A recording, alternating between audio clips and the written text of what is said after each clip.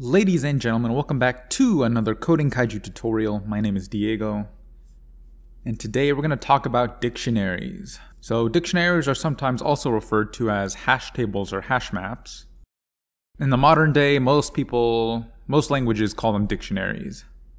So what is a dictionary? A dictionary is a data structure, like an array, but instead of accessing values by their index, you access them by their key. You see, each value in a dictionary has a key associated with it. A key associates to a value.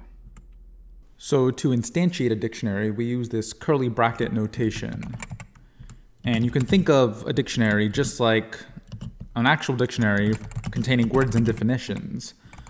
So when you think of it like that, the word itself would be the key.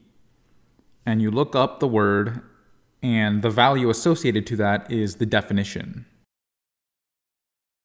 So there's three main points I want, to, I want you to take away from this.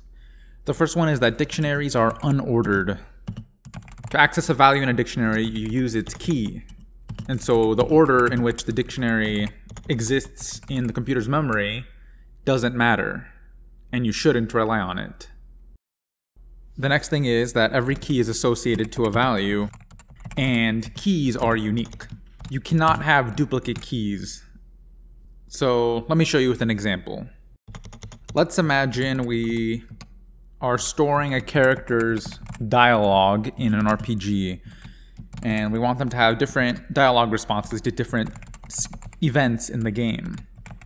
So we'll do two simple ones, the greeting, how a character greets someone, and then how they say goodbye or the farewell.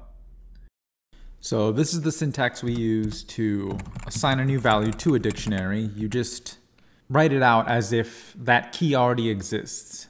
You access the key and then assign it a value. And so when we print this dictionary out, this is what it looks like. We got the brackets and then we have the keys and their values. So in a dictionary, the keys must be unique, and this is easy to demonstrate. If we use the key greeting again and assign it another value, you'll see that when we print it out, it has been overridden. And while keys have to be unique, you can have duplicate values. That's okay.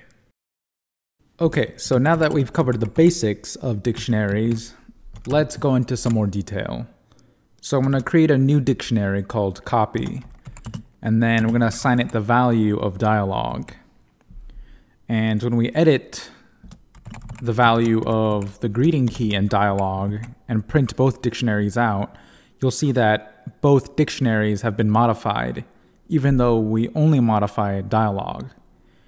And that's because we didn't truly make a copy. Both variables are actually pointing to the same dictionary as it exists in memory. If you truly want to make a copy, you'll want to use this duplicate function. Next, let's talk about how to compare two dictionaries. And we're going to use something called a hash.